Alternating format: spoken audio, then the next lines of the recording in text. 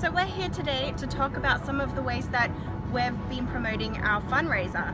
I think the most important thing about fundraising is not just contacting people in one way, but following up. Mm-hmm. So not only talking to them in person, but then following up with an email or a text message to send them to the link, or uh, messaging them on Facebook and then referring them back to your Facebook page to get to the link. One of the ways that I reached out to my family and friends was through email.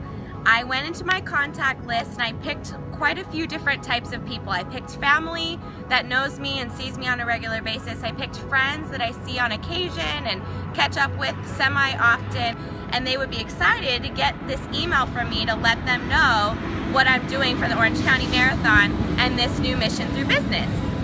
What's great about CrowdRise is it's really easy to use. Just fill in your name, you fill in the donation amount, and you enter your credit card information and you just click donate and you're done in less than a minute. It's really fast. And it's really fun to see mm -hmm. when people are donating towards your name and see that number go up. Wearing the t-shirt at the gym is a great conversation starter. I'm running for this cause.